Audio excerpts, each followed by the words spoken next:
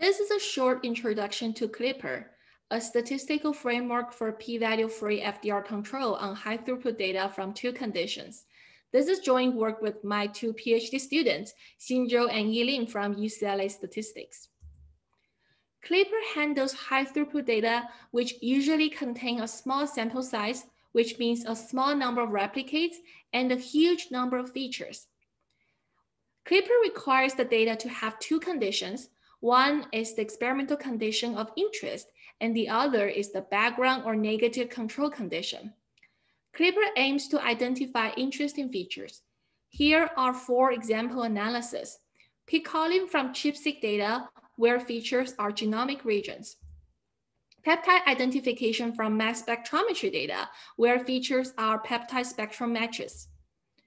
Identification of differentially expressed genes from RNA-seq data where features are genes.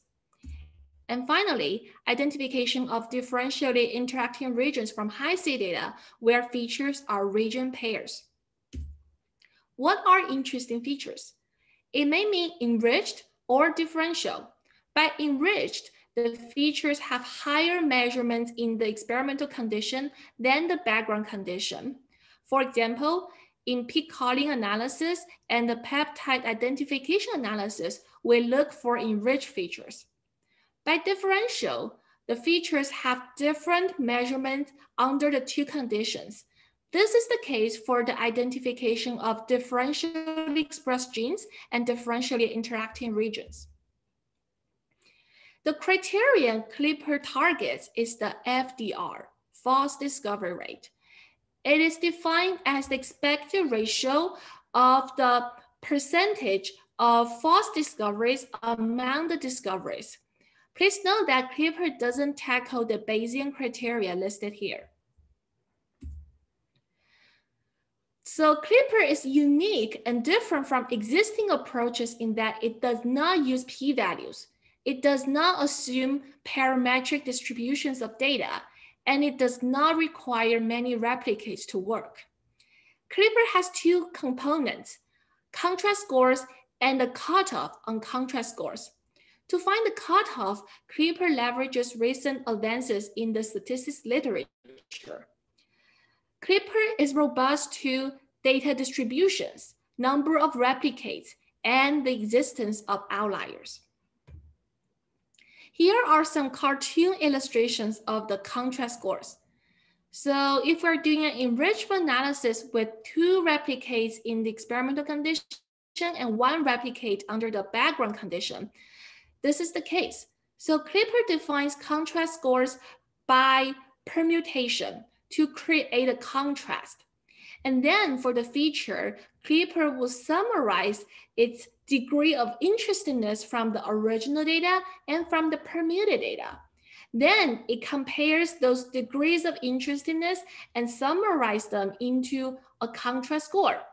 Clipper defines two contrast scores. One is called the max score, one is the difference score. And we have done a lot of empirical analysis to choose the default Clipper implement implementation for each scenario. This is the case for differential analysis. Clipper still follows the strategy, but the definition of degrees of interestingness is a little different because for differential analysis, we do not care about the direction. So here's some demonstration of how Clipper works for those four analyses. We compare Clipper with some cutting edge bioinformatics tools listed here.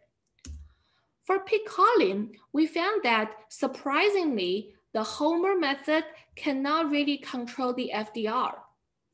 While the MACS can control the FDR when the target FDR is quite large. Using Clipper as an add-on to each method for setting off the cutoff and calling peaks, we found that we can reliably control the FDR while achieving very good power. For peptide identification from mass spectrometry data, Clipper outperforms MASCOT in terms of power while maintaining FDR control. Regarding the identification of differentially expressed genes from RNA-seq data, we found that DESeq2 cannot control the FDR, surprisingly. edgeR can control the FDR. Compared to them, Clipper outperforms edgeR by having a higher power when the target FDR is not too small, and Clipper maintains FDR control.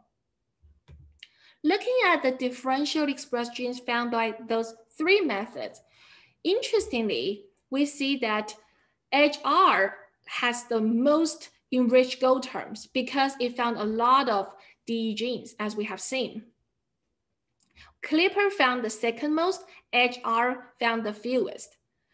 But if we look at the common GO terms that are biologically meaningful, we found those GO terms have the smallest enrichment Q values in the Clipper DE genes, suggesting that the DE genes found by Clipper are most biologically meaningful. We also look at the sets of DE genes that are specifically found by one method, like Clipper versus DESeq2 and Clipper versus edgeR. And we found that only the Clipper specific DE genes have enriched GO terms. And furthermore, if we took the DE genes um, enriched in the GO terms enriched in the DE genes found by each method, Clipper has the most enriched GO terms. Sorry, correction here. This Venn diagram is about the number of DE genes. DESeq2 found the most DE genes, Clipper second most, edgeR fewest. But even though Clipper found the second most DE genes, it has the most enriched GO terms. Finally, for the Hi-C analysis, we look at three Hi-C tools and only Diff Hi-C can control the FDR. And compared to Diff Hi-C, Clipper has advantages in power for target FDR greater than 2%. To summarize, Clipper avoids the use of p-values or to estimate the null distribution. The key of Clipper is the construction of contrast scores. This makes it flexible and with great application potential in high throughput data analysis.